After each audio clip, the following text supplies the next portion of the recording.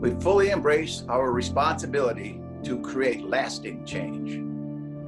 To change from within. To have uncomfortable conversations. To acknowledge history. Walk with us. We have to do better than this. We must do better than this. To use this platform for something bigger than basketball. Parramore to Eatonville to Tallahassee to Washington, D.C. Walk with us. To acknowledge. To remember. To educate. To inform. To reform. To thrive. Walk with us. It's time to come together. To end racism. To affirm that Black Lives Matter. Your voice matters. Walk with us. Walk with us.